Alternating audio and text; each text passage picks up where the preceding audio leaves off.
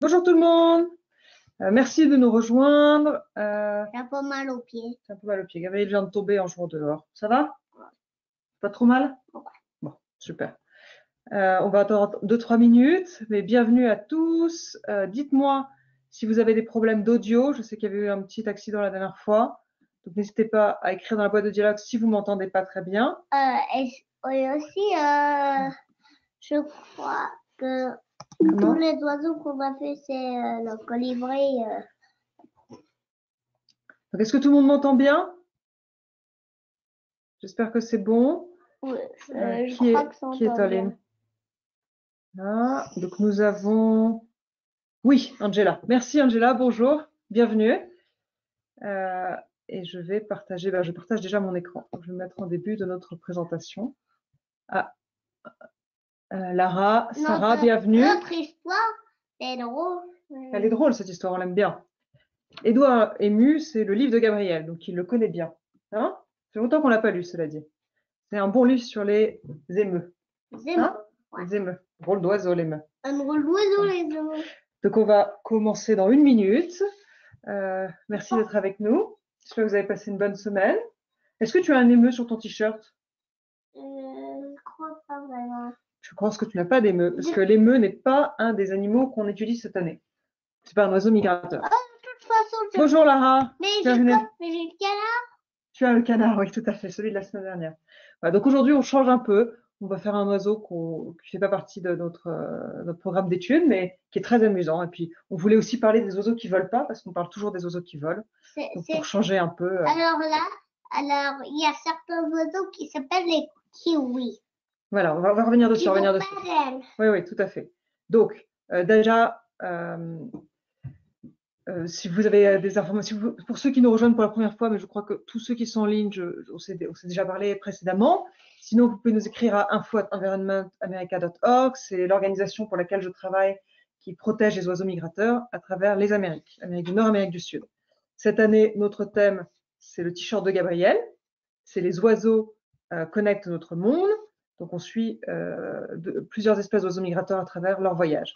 J'ai rajouté une petite slide pour ceux qui ont euh, quelques difficultés à utiliser les webinars euh, pour vous montrer un peu comment ça fonctionne. Vous avez une fenêtre de dialogue à droite. Donc, apparemment, euh, la plupart d'entre vous là en ligne savent déjà l'utiliser, mais je sais qu'on m'a posé la question. Donc, je vous montrer simplement à quoi ça ressemble. Vous avez des petits boutons pour poser une question ou pour écrire. Et vous pouvez surtout, ça, je ne sais pas si vous êtes au courant, mais diminuer ou grandir la fenêtre. Donc, vous pouvez diminuer au, mini- au minimum euh, l'image de Gabriel et moi si vous voulez pas nous voir. Regarde notre Si il y a des colibris pour pas qu'on pense. Parce que les oiseaux ne voient pas beaucoup dans la fenêtre, ils pensent qu'il y a des arbres, donc ils font sur la fenêtre et se fait mal. Voilà.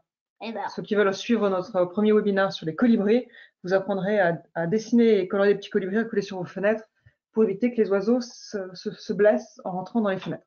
Et donc voilà. Donc ça, c'est pour vous montrer que vous pouvez agrandir ou diminuer la caméra pour agrandir ou diminuer le PowerPoint en fonction de ce que vous voulez voir. Vous utilisez juste la petite manette au milieu. Si vous avez des questions, n'hésitez pas. Voilà. Cela étant dit, on va commencer. Alors, on va parler des émeux aujourd'hui. Donc, euh, je vais vous présenter en deux minutes ce que c'est qu'un émeu. Euh, donc, un émeu, c'est euh, c'est très grand. Un émeu, ça fait deux mètres de haut. C'est plus ça grand que papa. et ça vit, Et ça vit où, un émeu? et ça vit euh, dans le désert. Ça vit pas dans le désert, ça vit en Australie, au pays des kangourous et des koalas. Voilà. On n'en trouve que là-bas. C'est euh, donc c'est le plus grand oiseau qui existe. Euh, Non, c'est pas le plus c'est oiseau. quoi le plus grand oiseau? Hmm, euh, c'est aussi le canard. Le canard, c'est pas si grand même moi. Voilà, donc c'est un, c'est un des plus grands oiseaux. Alors peut-être que Gabriel a raison, mais 2 mètres de haut, c'est quand même parmi euh, les plus gros oiseaux que, qui Non, existent. non, il y a plein d'autres oiseaux. Que mangent les émeux Est-ce que vous pensez que les émeux mangent des macarons, des Gabriel, s'il te plaît, ton t-shirt dans le moment, des burgers euh, Qu'est-ce que mangent les émeux N'hésitez pas à répondre dans la boîte de dialogue si Et vous avez une idée. Marie vient de nous rejoindre. Bonjour Marie. Euh, Ils mangent pas des hamburgers. Moi, j'aimerais bien de burgers. Est-ce que quelqu'un sait ce que mangent les émeux Des soupes? Des œufs? Euh, Est-ce qu'ils mangent euh, des burritos?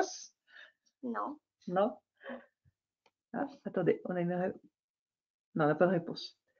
Eh ben, va- on va- pour celui-là, je vais vous aider. Le, le, le, l'émeu est omnivore. Qu'est-ce que ça veut dire omnivore, Gabriel Ça veut dire qu'ils mangent pas de la viande. Pas du tout.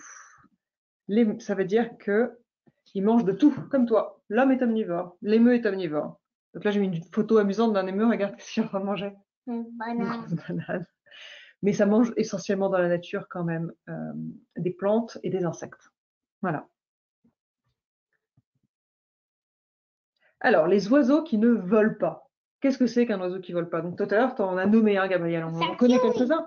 Est-ce que vous-même, vous pouvez partager avec nous quelques noms d'oiseaux qui ne volent pas que vous connaissez? N'hésitez pas à répondre à un bon dialogue et je partagerai votre réponse avec tout le monde. Le kiwi, effectivement, Gabriel a raison. Le kiwi ne vole pas. Euh, Est-ce que vous connaissez d'autres oiseaux qui ne volent pas? Waouh, je suis allée un peu trop vite. Pour ceux qui l'ont pas vu. Alors, Est-ce que tu connais d'autres oiseaux que le kiwi qui volent pas? Ouais, Quoi? Eh ben, on va regarder. le canard. On a d'autres oiseaux. On a l'autruche. Regarde, ça c'est de l'autruche. Ça ressemble beaucoup à le pingouin, dit Sarah. Effectivement, bravo, le pingouin est un oiseau qui ne vole pas. Bravo, Sarah. Euh, on a aussi l'autruche, effectivement. Le cassoar, que j'ai mis au milieu. Donc en bleu, c'est euh, le nom en français et en rouge en anglais. Je Enfin, je sais que c'était pas mal d'avoir les deux langues. Le regarde, c'est un les oiseau. dindons, les dindons. Les dindons, ça, bah, c'est une bonne question, tu vois. Les Effectivement, je pense que les dindons ne volent pas. Euh, Dindons, Angela dit le kiwi et le poulet. C'est vrai. Euh, c'est vrai, tout à fait. Le, le poulet, ça, ça volette, mais ça ne vole pas très bien. même le dindon ne vole pas. Le dindon, je sais pas, mais ça, ça a probablement raison. Mais, mais si, mais si, c'est pas du tout. Est-ce que tu l'as déjà vu voler? Non, c'est vrai que dans le Colorado, on a pas mal de dindons sauvages et on les a jamais vus voler. Hein Parce qu'ils sont que dans la montagne et ils ont pas d'ailes. ils ont des ailes. Ils ont tous des ailes, tu vois. L'autruche a des ailes, le cassoir a des ailes, le réa a des ailes. Mais, Mais c'est des trop petites ailes pour voler par rapport à l'énorme masse euh, de plumes et de, de viande Oh, les canards, oiseaux. les canards, c'est des plus grands qui volent. Les- ils sont que comment Alors, On a le kiwi, bien vu, pour ceux qui ont répondu kiwi, et effectivement le pingouin. C'est aussi un oiseau qui vole pas. Oui, le kiwi, Gabriel, tu sais? En Amérique, je sais. Le kiwi vit en Nouvelle-Zélande. Sur- connais la Nouvelle-Zélande? Oui, mais les dindons aussi, ils ne volent pas. Et les pingouins, ça vit où les pingouins? Ah, Où le Titanic a coulé. Ça vit là où il fait très froid. Je pas où le Titanic a coulé, mais voilà. Donc ça, c'était pour vous montrer un petit peu quel- quelques exemples d'oiseaux qui ne volent pas. On en a beaucoup plus et on fera une activité c'est- dessus c'est un. Mon amour, C'est par contre, tu parles quand je te pose des questions, d'accord? D'accord. Merci. Donc on va parler, on vient de découvrir les émeux, on parlera tout à l'heure du rôle des, euh, des eaux dans la conservation des oiseaux, on va lire l'histoire Mm. d'Edouard et après on va faire le jeu qui est là, il a très envie de le faire, sur les oiseaux qui volent et qui ne volent pas. Et on gardera un, peu de moment, un petit moment pour vos questions. Les perroquets ne volent Ok, volent très bien. Mon amour. pas. Alors, les Édouard l'émeu.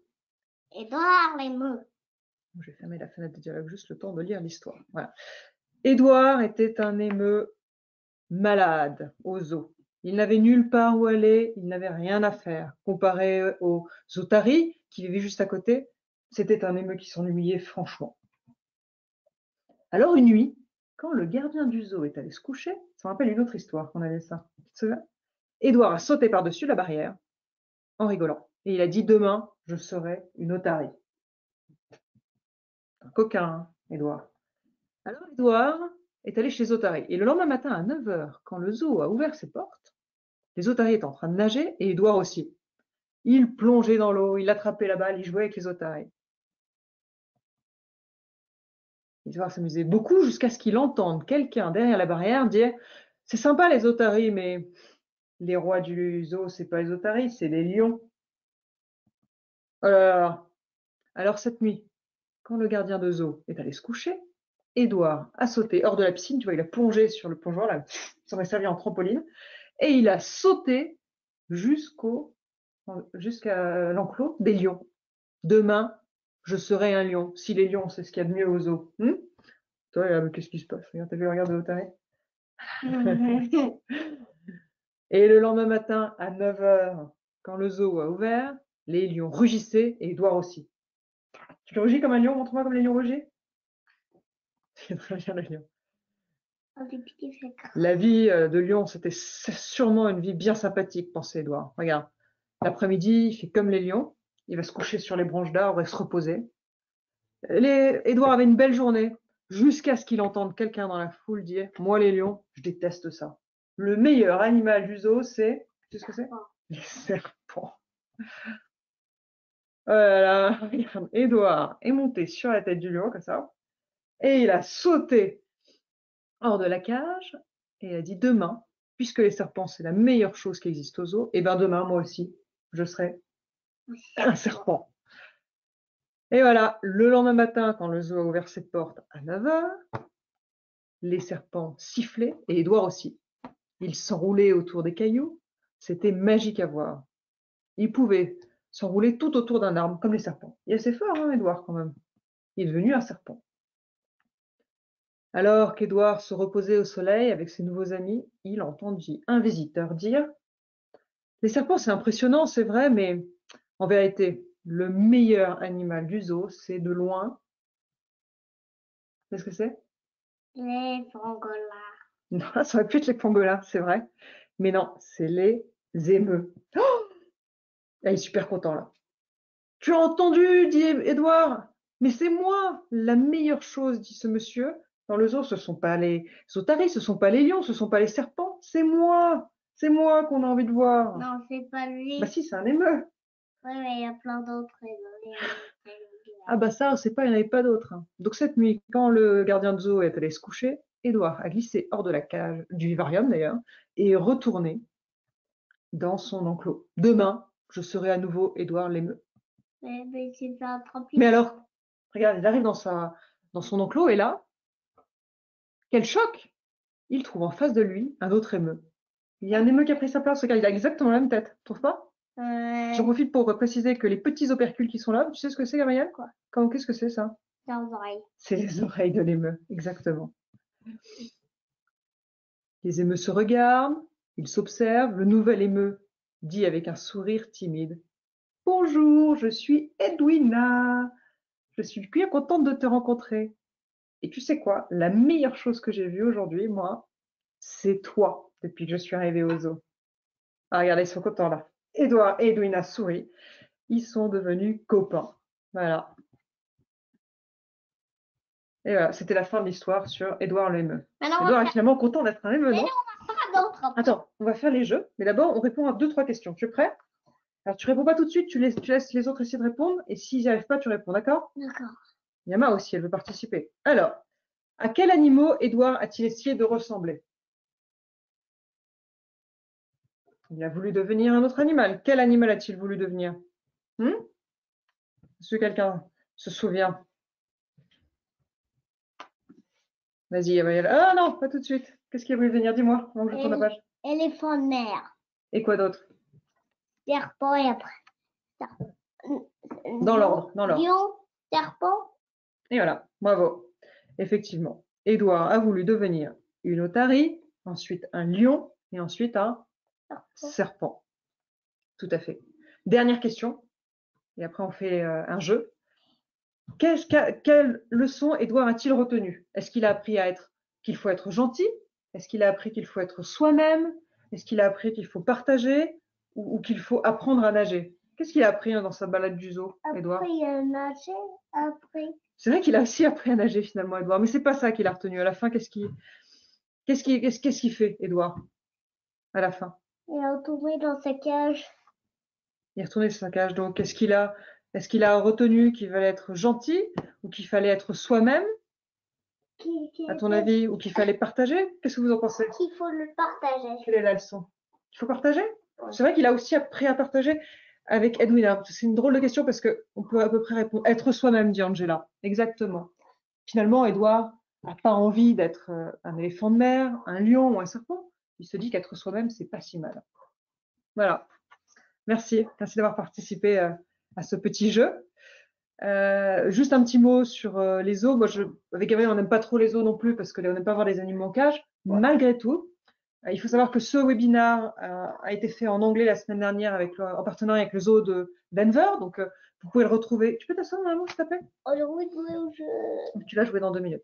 Vous pouvez le retrouver en ligne sur notre site internet parce qu'on a fait avec le zoo de Londres, le zoo de Denver et euh, Ralph, que vous voyez sur l'image que j'ai mis. Ralph, c'est le l'émeu du zoo de Denver. Et donc, euh, je voulais simplement préciser que les zoos, c'est vrai, euh, financent énormément de programmes pour protéger et sauver les animaux et les oiseaux. Ouais, je crois. Et, euh, et c'est bien de les, de les soutenir là-dedans. Voilà, Et, j'arrête avec ça. et quand nous serons gros, moi et Allo, on allait arrêter les gens et libérer les animaux du zoo. Oui, bon, voilà. Ah, bon. Aldo, c'est son petit frère, oui. Activité. Alors, euh, ça, on va pas la faire ensemble parce que je l'ai déjà fait avec Gabriel, mais tu peux montrer tes petits animaux que tu as construits la semaine dernière Mais je vous enverrai le patron si vous euh, souhaitez le faire vous-même plus tard.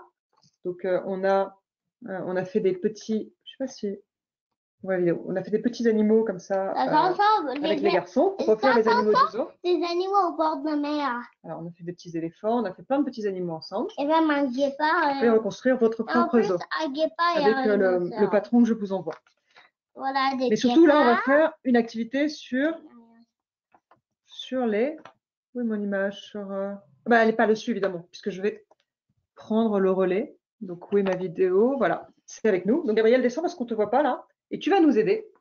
L'activité qu'on va faire maintenant, c'est quel animal vole et quel animal ne vole pas. Vous êtes prêts? Donc, tu attends en répondre, d'accord? Donc, j'ai avec moi plein de petits animaux.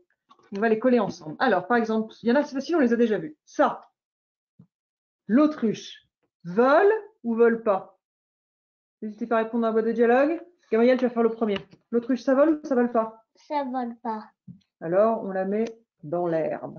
Voilà. Le coq, ça vole ou ça vole pas? Vas-y, montre le coq, parce qu'on ne le voit pas bien là. On le voit dans l'image. Vas-y. Est-ce que le coq vole ou ne vole pas? Alors, on a déjà répondu à cette question tout à l'heure. Je crois qu'Angela a dit que les, les- les coqs, ça volait pas. Hmm, Qu'est-ce qu'on a d'autre comme animaux? Vole pas, dit ça. Oui. Quel autre animal? Ah, ok. Ça, c'est un cacapo. Mais oui, effectivement, c'est une espèce de. euh, pour ça, on a un perroquet. Est-ce que ça vole ou ça vole pas, le cacapo? Ah, je me suis fait avoir avec celui-là, moi. Est-ce- Ça vole? Tu penses que ça vole? Qu'est-ce que vous en pensez? Ça vole pas. Ça vole pas. C'est un difficile, celui-là. Le cacapo, ça vole pas. Apparemment. Euh, Qu'est-ce qu'on a d'autre? Oh Ce c'est ça. Comment s'appelle cet oiseau? Ah, si. Pas du tout. Un héron. Est-ce que ça vole, le héron? Non. Ah si, ça vole. Ça vole très très bien même. Euh, ça vole quoi, le canard? Le canard Vol, sauvage? exactement. Bravo, euh, bravo Sarah. Le- Attends, attends, Gabriel, Gabriel, on les fait un par un, mon amour. Est-ce que le wood dog, donc le canard de bois en français, vole, d'après vous? Toi, tu penses que ça vole, Gabriel? Hmm, Oui. Qu'est-ce que vous en pensez? Est-ce que quelqu'un a une idée? Est-ce que le wood dog vole? Ça vole pas? Si, le wood dog, ça vole, Angela. Et Apparemment, moi, j'avais dit que ça hein. volait. douté, Et moi, j'avais dit que ça volait. Et c'est quoi ça? On le voit pas bien, mon amour. Ça, c'est un, un perroquet de Cuba. Alors, le perroquet de Cuba, ça vole. Ça, c'est facile. On peut le mettre. Qu'est-ce qu'on a d'autre? On croit qu'on a ça? Je vais pas perdre les réponses. Alors, ça, c'est quoi? Ça, c'est un paraquite. Est-ce que ça vole, le paraquite? Oui. Qu'est-ce que vous en pensez? Tu penses que ça vole, toi? Non. Moi, je pense que ça vole. Qu'est-ce que vous en pensez? Est-ce que quelqu'un sait? Euh, moi, c'est la même chose que toi. Moi, peut-être. Tu penses peut-être moi, je pense que ça vole. Voilà. On va dire que ça vole. Ça vole. Oui, exactement. Ça vole, Angela. Qu'est-ce qu'on a d'autre comme oiseau, Gabriel? Tu me les donnes? Pendant que Gabriel ramène les autres oiseaux ici, je vais faire celui-là qui est facile parce qu'on a déjà parlé plusieurs fois. Le kiwi. Donc, le kiwi. Gabriel? Restaurant. Le kiwi Le kiwi, c'est aussi une nourriture. Non, mais, oui. kiwi. mais ça vole ou pas? Euh, non. Bah non, pas du tout. Le kiwi, il reste au sol. Oh, bah ça, on en a parlé tout à l'heure. Un casoa. Ça vole ou ça vole pas? Ça vole pas. Ça vole pas. On l'a vu en première partie de notre webinaire. Ça, c'est quoi? Euh, Merci Chouillou d'avoir écrit le nom des oiseaux derrière. C'est un takae. Le takae, est-ce que vous pensez que ça vole le takae? Est-ce que vous avez déjà vu un takae? Non. Quelqu'un euh, a une idée? Moi, je crois que j'ai une idée. Un pingouin. Moi, je ne l'ai jamais vu. Attends, attends, il en reste trois, mais on va d'abord faire celui-là. Est-ce que quelqu'un sait? Le takae, ça vole pas. Qu'est-ce qui nous reste? Le pingouin africain. Le vol. Est-ce que vous pensez que le pingouin africain vole? Hmm, euh, certains pingouins volent. Ils ont des ailes. Ils ont des grosses ailes sur le côté. Est-ce que quelqu'un pense que le pingouin africain vole? Non, ça vole pas. Est-ce que ça, ça vole? Et notre dernier oiseau, c'est... Comment s'appelle cet oiseau, Gabriel? Attention, grand test. Et Marlène Robin. Eh bien, on est mal barré. C'est l'ému.